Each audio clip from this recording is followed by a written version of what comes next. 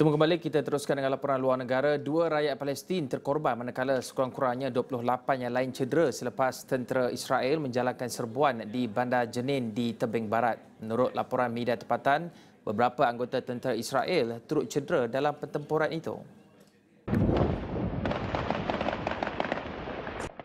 Bunyi tembakan dan asap dari bangunan dilaporkan di serata bandar pada Isnin.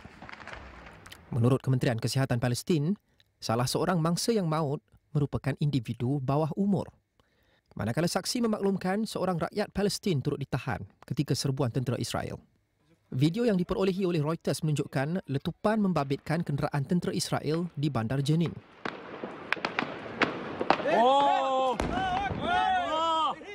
Sebelum ini, kumpulan Islamik Jihad memaklumkan pihaknya terlibat dalam pertempuran di Jenin yang menjadi lokasi tumpuan tentera Israel menjalankan serbuan ganas.